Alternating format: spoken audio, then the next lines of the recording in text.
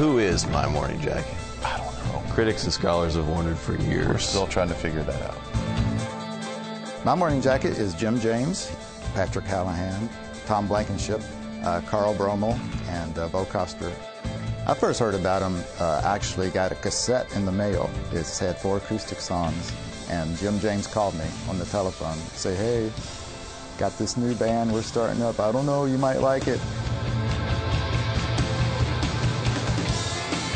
Was not the fully fleshed out version of MMJ that is familiar to everyone now, but even then you would go see them, and this is 98, 99, and there was just this feeling that this was a band that could do something. I don't think we really think about why we do what we do. We just love doing it. I don't know. The, the five of us are uh, very blessed to have each other. That we we all allow ourselves to be vulnerable in front of a crowd full of people, and I think it breaks down a wall and lets people break down their walls too and become vulnerable. And, and I think that that is a huge connection point between our band and our fans. Is that we can all be vulnerable together in a creative space.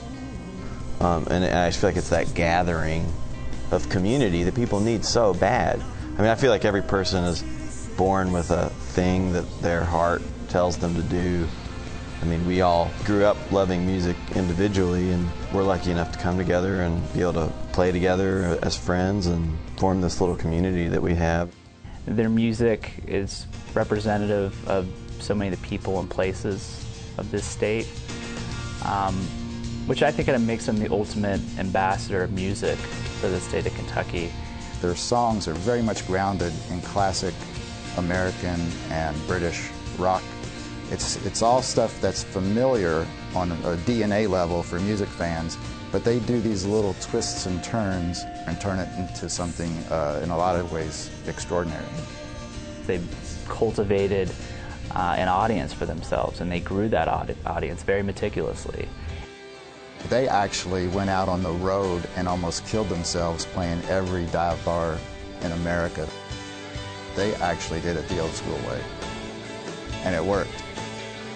Everything they've done throughout their career, they've done the right way, and they've done it with integrity and passion. We all want to be loved. We all want to be accepted in some way. You know, every human has these basic needs, and I think people in general need to stop categorizing themselves and stop categorizing their music. You know, you like country music, I like hip hop. We're so different, but we're not different at all. It's all it's the greatest illusion of all time. There's no reason to keep dividing people. There's only reason to keep unifying.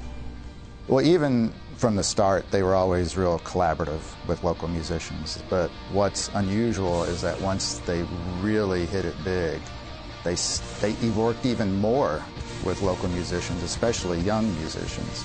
No, man, can, collaborating with the Louisville Youth Orchestra and the Louisville Leopards, and I mean, we just like the crime of all the cuts and the arts funding and, and just the the shame of that. Is so great that I feel like it's everybody's responsibility to make up for that, you know, because kids deserve, every kid deserves a chance to find their path, you know, and we just believe so strongly in that. It's like, what can we do to, to help kids have things that we never had, you know, things that we wish, like I wish there would have been a Louisville Leopards when I was growing up. I mean, you know, it's like I would have been like, Mom, sign me up for that. I want to do that. I want to do that. Yeah, you got to dare to dream. There's always going to be somebody telling you you can't do something, and that's just not true. At that core of consciousness that's at the center of, of every living being, there is something that's the same. And I feel like music is one of the easiest ways for everybody to connect.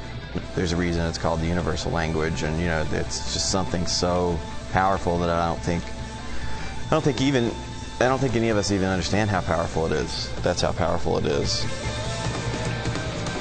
I don't know, we were just lucky enough to all find each other and not uh, get into horrible fights and want to kill each other. And Is that why people connect with our music? exactly Because we because we, love each other so much. Our love for each other is so powerful.